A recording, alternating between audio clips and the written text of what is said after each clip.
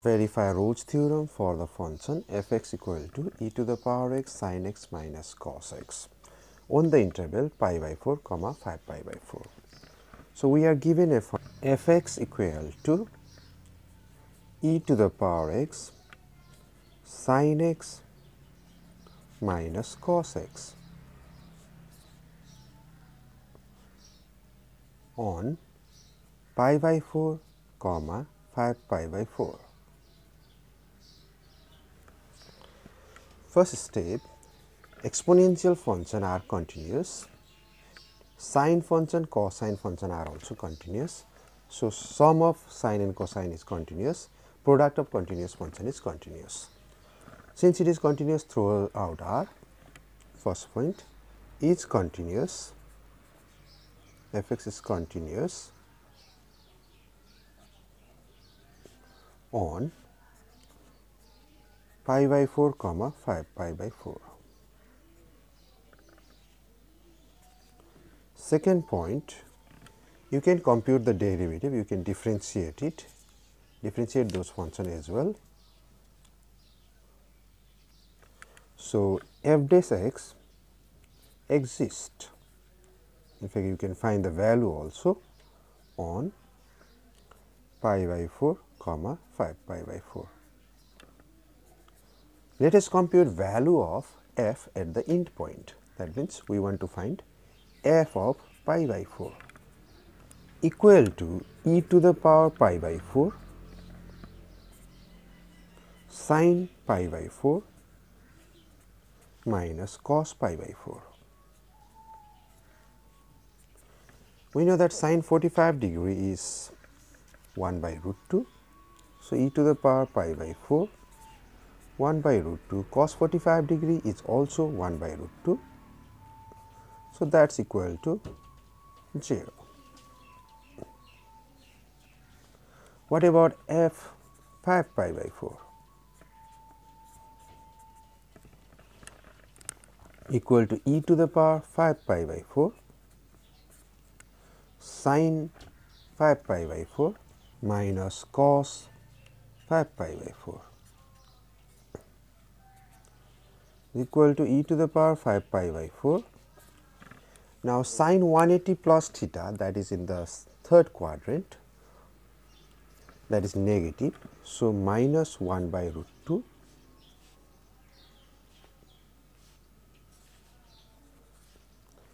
cos 180 plus theta is minus cos theta. So, that is again cos 45 degree so, you compute it you will get it 0 once again.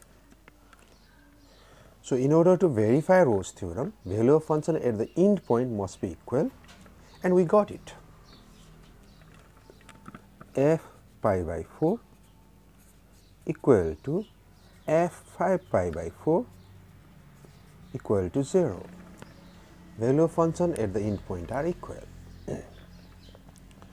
But is that enough? Yes. Now, we, we observe that function is continuous on the closed interval, differentiable on the open interval and then value of function at the end point are same. So, by Rolle's theorem, now by Rolle's theorem, a constant so, by Rolle's theorem there exists a constant C such that f dash of C equal to 0.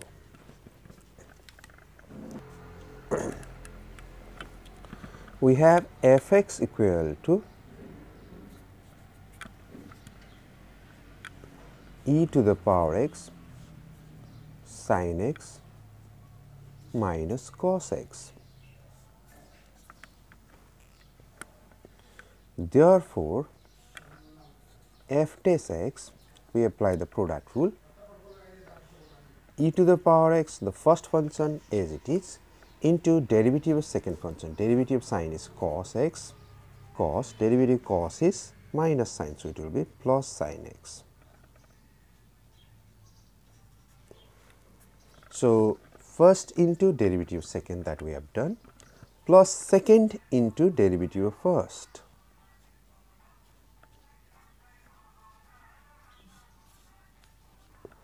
Derivative e to the power x is e to the power x. Now we can take e to the power x common, cos will get cancelled 2 sin x. We want to compute a constant c such that f dash c equal to 0. Now, f dash c equal to 0 if e to the power c into 2 times sin c equal to 0. But e to the power c can never be equal to 0. So, we have choice sin of c equal to 0. Well, we have got infinitely many different constants c such that sin of c equal to 0. We could take c equal to 0, we could take c equal to pi, you should take c equal to minus pi, we could take c equal to 2 pi and so on. So, what, what do you think the best values should be? As we, we want a constant c such that c belongs to the interval pi by 4 comma 5 pi by 4. Well, we are lucky enough to have in fact Rolle's theorem guarantees us such a constant. So, such constant should exist and pi belongs to pi by 4 comma 5 pi by 4 that is pi is greater than pi by 4 less than 5 pi by 4 and we have computed such a constant.